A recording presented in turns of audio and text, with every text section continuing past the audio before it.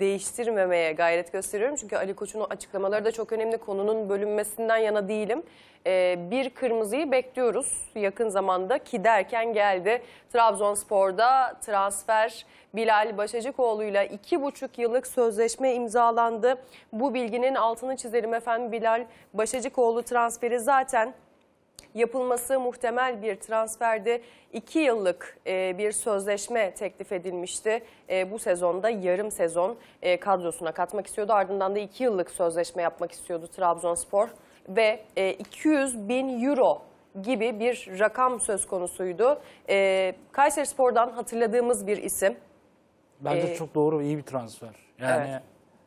Trabzonspor'un ön tarafta belki ligin en formda en iyi e, hücum hattına sahip olabilir ama oraya bir alternatif de yaratmak gerekiyordu. Ama sol bekte oynuyor galiba bu çocuk ya. Yok, sol Ha? bek oynamaz hocam. Yani sol açık oynar, Ben e, sanki sağ açık oynar ama sol bek- bek Sanki oynadığı gibi. ters yani. ayaklı hocam Ha? zaten. Yani Sağ, sağ, ayak mı? Sağ ayaklı. Ben ne bileyim.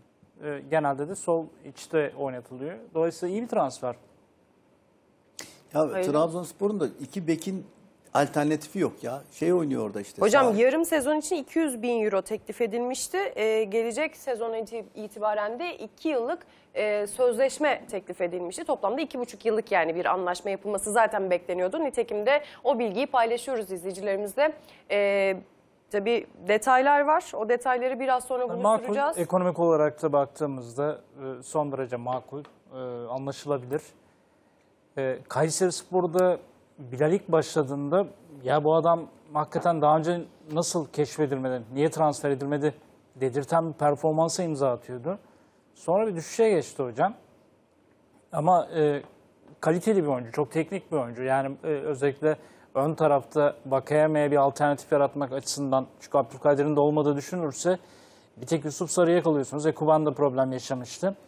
E, şimdi Allah korusun Vakayeme'ye bir şey olursa Trabzonspor'un e, özellikle hücum hattı çok olumsuz etkilenebilir. Yani işte Staric var.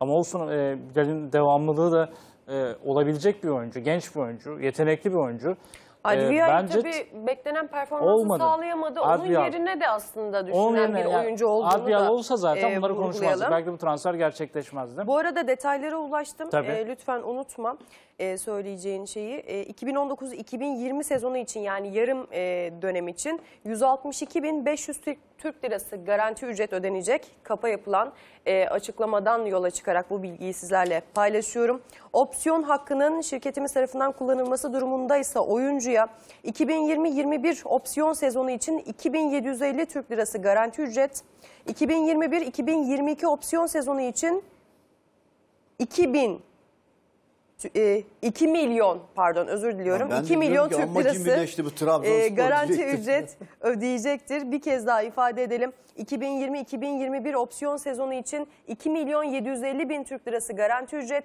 2021-2022 opsiyon sezonu için 2 milyon Türk lirası garanti ücret ödenecektir. E, transferle ilgili herhangi bir menajerlik bedeli ödenmeyeceği de e, belirtilmiş e, opsiyon hakkının şirketimiz tarafından kullanılması durumunda diye e, detaylandırılmış tabii e, maddi konular. E, yarım sezon içinse 162.500 Türk lirası garanti ücreti var Bilal'in. Ee, yani Trabzonspor'un ne kadar şeffaf, ne kadar e, bu konuda gerçekten de örnek bir kulüp olduğunu gösteren bir açıklama metni. E, tüm rakamları, mali şartları net bir şekilde öğrenebiliyorsunuz. Keşke diğer kulüplerde de e, bu durum, bu tablo bu şekilde net, açık bir şekilde e, halkla, kamuoyuyla paylaşılabilse. Bilal benim çok beğendiğim bir oyuncuydu. Ee, ama bir düşüş yaşadı açıkçası e, zaman zaman e, forma giyemediği dönemler de oldu. Ama sonuçta kaliteli bir oyuncu, bildiğimiz bir oyuncu. E, dolayısıyla bence Trabzonspor açısından çok kritik bir hamle. Çünkü ön tarafta e, çok etkili bir hücum hattı var Trabzonspor'un. Ama içlerinden birine bir şey olduğu vakit e, bütün o yapı bir anda, organizasyon bir anda bozulabilecek bir yapı aynı zamanda. E, Bilal bu anlamda elinizi güçlendirebilecek bir transfer. Hem sağ önde hem sol önde oynar. Bana göre mesela Yusuf oynuyor bazen. Yusuf'un çok çok önünde. E, Adviyal'le kıyaslamıyorum. Adviyal Ya. de büyük bir hayal kırıklığıyla zaten Bence Trabzon. de bu, bu hafta galiba şey oynadı. Galiba Abdülkadir parmağı orada oynattı sanki sağda. Abdülkadir. Sanki. Abdülkadir Ya ben çok bugün- beğeniyorum o çocuğu da ya. Vallahi çok beğeniyorum. Çok yani düzgün, çok karakterli bir oyuncu ama Yusuf Sarı'yı da çok beğeniyorum. ya ön tarafta özellikle kenarlarda oynuyorsanız hocam Abdülkadir o mezi yetenekli bu arada. Çok teknik bir oyuncu ama o meziyetlere sahip bir oyuncu da değil. Ekuban'ı Abdülkadir oynatıyor bir de galiba. benim bildiğim Ekuban Abdül- mı oynadı? Hocam- Ya ben bu hafta Trabzon maçını seyredemedim biliyor musun? Ya Ab- hala içimde şey. Abdülkadir e, kariyerinde 10 numara oynamışı da var diye biliyorum ben. Yani zaten, Zaten ofansif öyle yönü olan oynattı. bir oyuncu.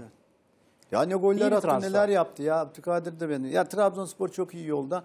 Eğer Abdülkadir Ömür sakatlanmasaydı ben bana göre birinci adayım o benim şeydi. Yani Sivas'tan bile öndeydi. Ama Sivasspor'da tabii bu arada tebrik etmek lazım. İyi şeyler yapıyor yönetim.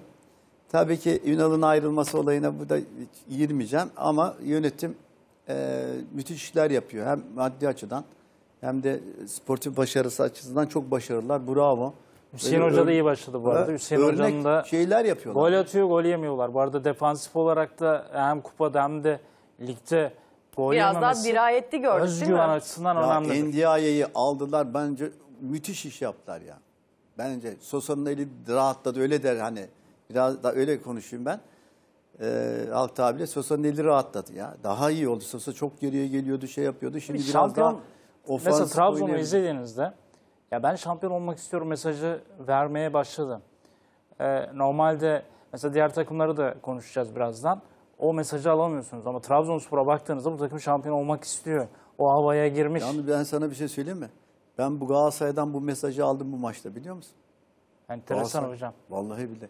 Vallahi Yani sizden vallahi bunu bravo. duymak hakikaten çok enteresan. Ben bir şey söyleyeyim mi? Vallahi Fatih Hoca'yı da tebrik ediyorum.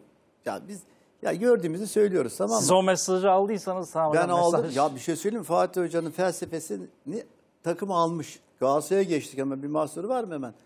Ee, hocam Fenerbahçe'ye geçeceğiz. Fenerbahçe'den Tamam, sonra Fenerbahçe'den Galatasaray'la sonra devam edelim. Ee, hayırlı olsun tabii hem Trabzonspor'a hem de Bilal Başacıkoğlu'na diyelim. Ali Koç'la devam edeceğiz. Transfer gelişmesini de verdik. Ardından Ali Koç'un dün akşam TRT Spor'a e, konuk olduğunun altını çizelim. Orada yapmış olduğu açıklamaları sizlerle buluşturduk. Finansal e, konular hakkında da önemli açıklamalar yaptı ama öncesinde e, tabii gündeme damga vuran e, cümleler vardı. O cümlelerden bir tanesi de B planımız yok. Tabii transfer yapamayan bir e, başkandan e, bahsediyoruz, bir kulüpten bahsediyoruz.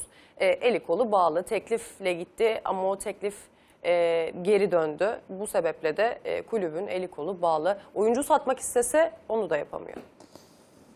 Ya şimdi gazetecilik açısından baktığımda bilemiyorum. Ee, izlenme oranları nasıldır, nedir, ne değildir. Ama bir gazeteci gözüyle baktığında... Tatmin etti mi dün e, akşamki tatmin yapılan etmedi. açıklamalar? Manşet çıkaramıyorsunuz. Yani bu kadar çok konuşmanın içerisinden bilemiyorum. Hocam hangi gözle izledi ama ben bir gazeteci gözüyle izlediğimde ya şunu alayım manşete çıkarayım. İşte bu. Hani Fenerbahçelileri coşturacak, heyecanlandıracak ya da ne bileyim e, gündeme damga vuracak e, bir söylem olmadı. Bazı şeyler Ya tek Tamam da diyor ki B, ne B planı şey yapamıyor ki. Transfer yapamıyor. Bunun B planı olur mu? Daha. B planı çaresizlik yani. B başka bir şey yok. Yani o doğru söylüyor esasında bu. Ya doğru söylüyordu hocam. Ben bir gazeteci gözüyle baktığımda E ne desin mesela? bu söylemlerden bu kadar çok uzun süren bir toplantıdan e, kamuoyunu daha ikna edici bir ekonomi program bir, bir ekonomi kanalında yapılsaydı bu program daha anlaşılabilir. Daha iyi bir program olurdu. Bence doğru bir kanal seçilmemiş. Yani bir ekonomi kanalı için gayet e, güzel rakamlar, bir takım e, Türk futbolunun içinde bulunduğu durumu anlatan ki nasıl bir durumsa e, bakın Trabzonspor çok güzel açıklıyor. Trabzonspor ekonomik olarak e, iki yıldır uyguladığı politikalarla nasıl bu noktaya geldi? Galatasaray nasıl bugün alt- 75 milyon kar açıklayabiliyor? Ya da Beşiktaş nasıl 151 milyon zarar noktasında? Şimdi bütün bunlar biraz da kulüp politikaları ve yönetimleriyle ortada. Şimdi ister istemez bir gazeteci e, şüpheciliğiyle de olaylara bakıyorsunuz. Say- bir kere Sayın Ali Koç'un son dönemdeki çıkışlarına ve artan